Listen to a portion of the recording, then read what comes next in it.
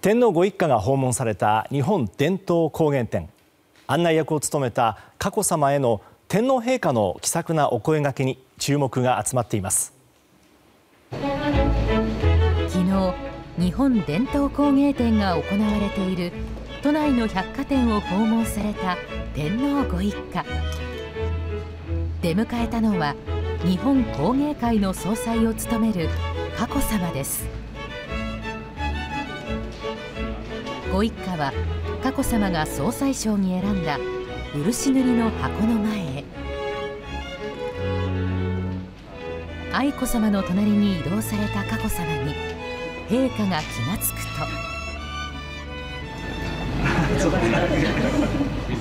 と。笑いが起きます。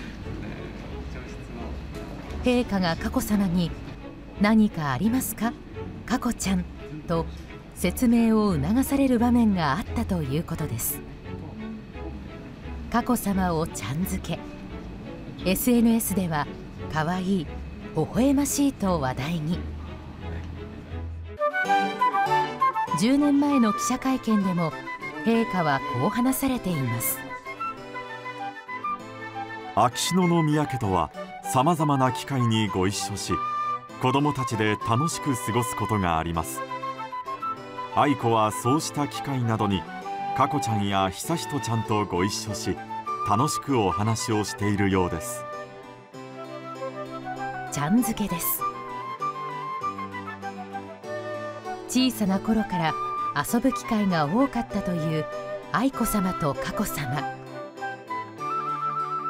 私は幼い頃から弟か妹が欲しいと思っておりましたので妹か弟が欲しいと話すほど子供好きの佳子さまご一家が揃って須崎御用邸で静養された際には。どのようにすれば年宮様がお喜びになるかを相談しながら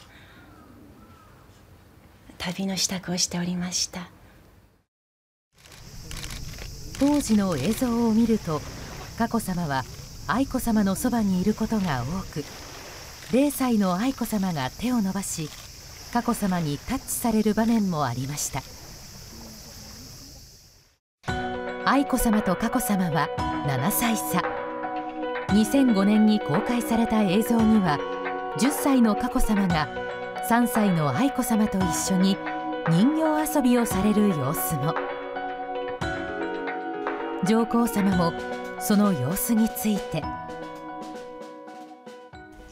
大人同士が話し合っているような時過去はよく愛子や悠仁の面倒を見一緒に遊んでくれます。過去のこのような気遣いを嬉しく思っています。姉の眞子さんが皇室を離れてからはこんなツーショットも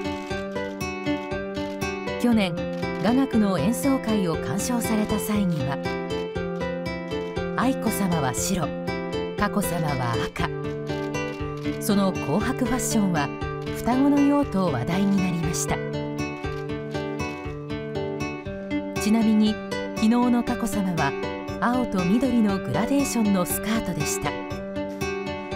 総裁賞に選んだ作品について佳子さまは色の変化グラデーションが美しいのが印象的とされていますどこか意識されていたのかもしれません。